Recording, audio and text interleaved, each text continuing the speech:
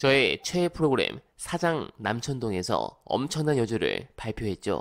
이게 안심번호의 1000명 샘플 조사라서 상당히 정확도가 높다라고 볼 수 있는 조사인데 정당 지지율이 이렇게 나왔습니다. 즉 야권의 당선이 유력한 상황에서 김성애 후보가 심상정을 압도하는 조사가 나왔는데 너무 기분이 좋습니다. 관련해서 이 부분에 대한 당사자의 말씀 들어보시고 이어가 보겠습니다. 민주당 경선을 치러야 될 거 아니겠습니까? 네. 경선을 치러서 김성애로 결정이 났습니다. 그리고 이제 본선을 치릅니다.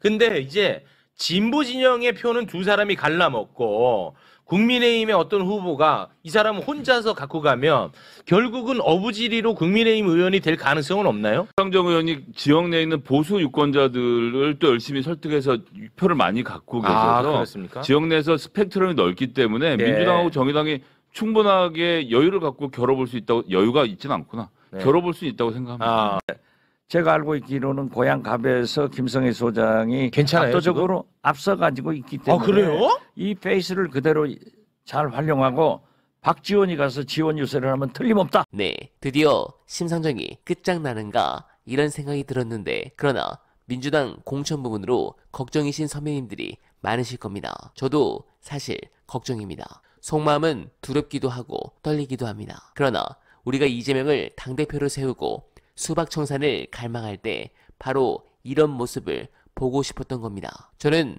적어도 1억일 희망했습니다. 무능한 180석이 지금 160석이 위험할 수준으로 빠졌고 아무것도 못하며 정권까지 내줬습니다. 그리고 2년간 윤석열을 제대로 견제조차 못했습니다. 이런 혁신 공천은 솔직하게 우리가 원했던 모습이니 불안해할 필요도 아쉬워할 필요도 없습니다. 공천으로 시끄러울수록 우리는 안도하고 즐거워하면 됩니다. 반민특위가 돌아갈 때도 국론 분열이니 망국이니 하며 시끄러웠습니다.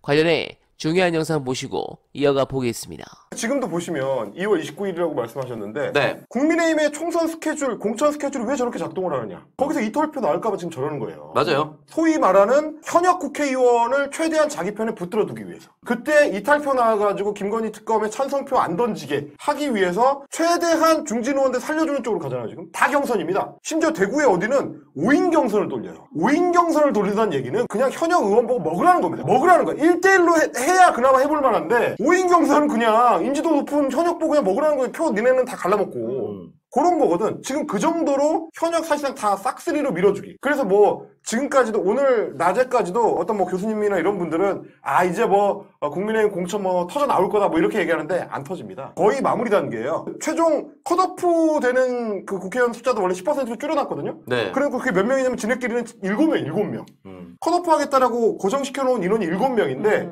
그거 이미 다 고지했어요. 왜냐면 그 안에 누가 들어가 있는지를 아무도 모릅니다. 지금 공개도 안 해. 네, 그래서 지금 우리 지지층은 이재명 대표를 더욱 응원해서 힘을 실어줄 시기라고 생각합니다. 저는 이재명 대표가 진짜 대단한 인물이란 걸 이번 공천으로 또 한 번 체감하게 되었습니다. 이런 분란을 당연히 예상하셨을 텐데 그렇다 하더라도 치고 가는 게 맞다고 판단하신 겁니다. 솔직히 무능력한 수박들에게 공천 퍼주기 위해서 편하게 가면 잡음도 없이 편하게 선거 갔을 텐데 기레기들과 국짐이 이 대표 물어뜯으려고 하이에나처럼 틈만 노리고 있는 이 상황에도 편법 없이 정석대로 가는 걸 보면서 대단하다는 생각밖에 안 듭니다. 이재명 대표께서 힘을 내시고 여러분들께서도 더 많은 지지를 해주시길 부탁드리며 어나별은 오늘도 최선을 다하겠습니다. 여러분 고맙습니다.